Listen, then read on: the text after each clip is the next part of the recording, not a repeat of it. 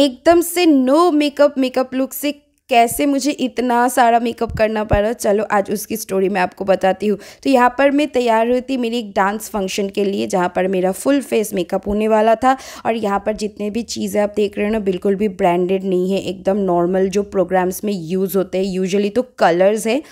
तो वैसे जो भी कहो, उसी से करना पड़ा मेकअप तो पहले स्टार्ट हुआ मेरा फेस का बेस मेकअप जहाँ पर कोई प्राइमर या मॉइस्चराइज़र नहीं लगाया गया था, वैसे मैंने अलग से अपना फेस जो प्रेप है वो कर लिया था। उसके बाद लग गया था एक बेस जहाँ पर एकदम वो क्रीम टाइप कुछ प्रोडक्ट वो लगा रहे थे। और मेरा फेस अब देखो एकदम इवन हो गया मतलब मैं पहचान में तभी से नहीं आ रही थी।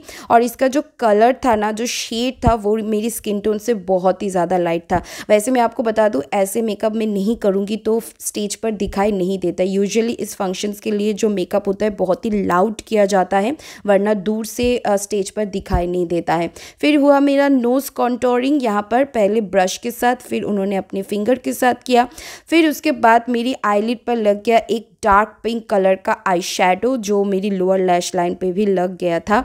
और यहाँ पर बहुत देर तक मुझे बैठना पड़ा था यार। फिर स्टार्ट हुआ मेरा आईब्राउज़ और देखो कितना बड़ा आईब्रो बन गया मेरा। वो भी ब्लैक कलर के काजल के साथ। मैं तो कभी नहीं लगाती हूँ, मैं हमेशा ब्राउन कलर यूज़ करती हूँ। पर क्या करें, कुछ नहीं कर सकते यहाँ। तो यहाँ पर फिर उन्होंने कुछ शार्प किया। क्रीम के साथ मेरी आया मतलब जो आईब्रो हो जो अच्छे से दिखे। फिर कट क्रीज बनाया गया मेरी आईज़ के ऊपर और उसके ऊपर एक गोल्डन कलर का शिमर आई प्लेस किया गया दोनों आईज़ के ऊपर। और भैया के टैटू तो देखो, इसको अब मिस मत करना। बहुत ही प्यारे हैं। फिर उसके बाद दोनों कलर को अच्छी तरीके से मिक्सड किया गया। एंड उसके बाद लग रहा था काजल और मेरी आईज़ और मेरी गर्दन की हालत बहुत ज़्यादा ख़राब हो गई थी।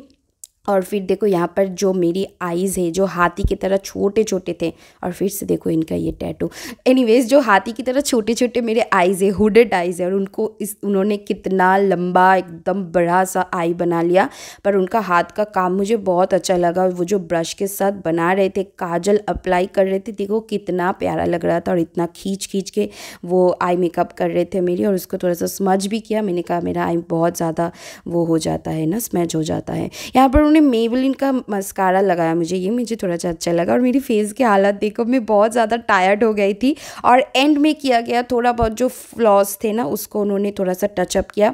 उसके बाद हो रही थी मेरी कॉन्टोरिंग फेस की। ऐसा मेकअप करूँगी मैं कभी मैंने नहीं सोचा था। इसके बाद लग गया मेरा फेस पर ब्लश जो मेरा बहुत ही फेवरेट पार्ट है और मेरी गर्दन अकड़ गई थी। और फिर लगा मुझे, मेरी फेस के ऊपर हाईलाइटर और फेस देखो इतना चमक रहा है। सच्ची बताओ मैं खुद पहचान में नहीं नहीं आ रही थी। और ये लग गया फिर लिपस्टिक और ये कोई लिपस्टिक नहीं है ये कलर था। वैसे आपने मुझे देखा होगा कि मैं हमेशा न्यूट कलर लगाती हूँ, लेकिन यहाँ पर एकदम डार्क रेड कलर जो मैं यूजुअली नहीं लगाती हूँ, वो लगाया गया। फिर उसके बाद हम लोगों का जो कॉस्ट्यूम था, वो महाराष्ट्रन स्टाइल में था तो इसीलिए जो आधी चाँद होती है ना, उसका बिंदी लगाया गया, और ये था मेरा फुल मेकअप और कितना ब्राइट वाला मेकअप है देखो। लेकिन लग तो बहुत प्यारा लग रहा था। अब ये जब पूरा कंप्लीट हो जाएगा ना तो अच्छा लगेगा। देखो, ये है मेरा कॉस्ट्यूम ऐसे मैंने महाराष्ट्र स्टाइल में साड़ी पहना था। और उसके बाद बहुत सारा गहना हम लोग को पहनाया गया। बहुत सारे लोग हम लोग को हेल्प भी कर रहे थे। और फाइनली ये था मेरा मेकअप लुक पूरा मेकअप लुक कैसा लगा आप मुझे कमेंट करके ज़रूर बताइए। मुझे तो बड़ा ही प्यारा लगा एंड अच्छा लगा। थोड़ा डिफरेंट है night so anyway by